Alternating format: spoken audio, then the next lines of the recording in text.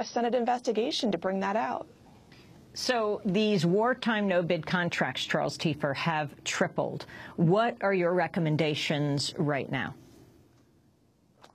Well, the commission recommended that uh, the Pentagon, and also uh, the problem even goes further, State Department, Agency for International Development, but the Pentagon is the, the, the big one, um, should set goals to make real percentage increases in competition and meet them.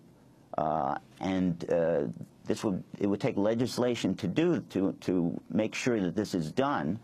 Uh, but um, we also stated the specific methods that the Pentagon could use to do this.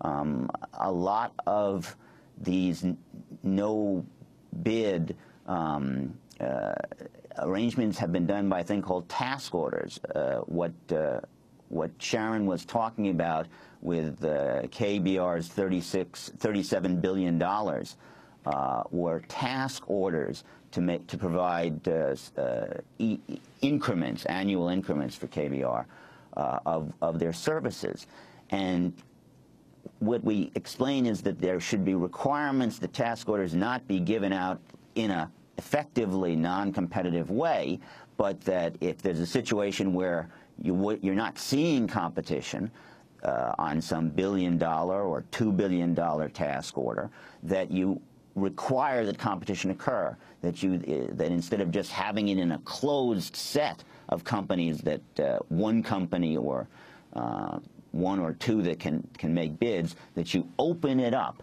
Uh, and you get full and open competition on that. Very those. quickly, is there anything you wish were included in the report uh, that did not get included uh, from the Wartime Contracting Commission?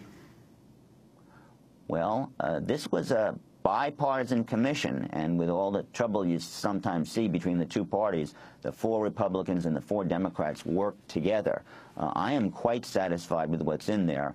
Uh, in a perfect world, changes continue to occur in Afghanistan, including problems, and I, I wish we could stay with it, but our time was up and, and uh, our report speaks for itself. Charles Tiefer, thanks for being with us on the Wartime Contracting Commission. Sharon Weinberger, author of the investigative series for the Center for Public Integrity, a no-bid contracts called Windfalls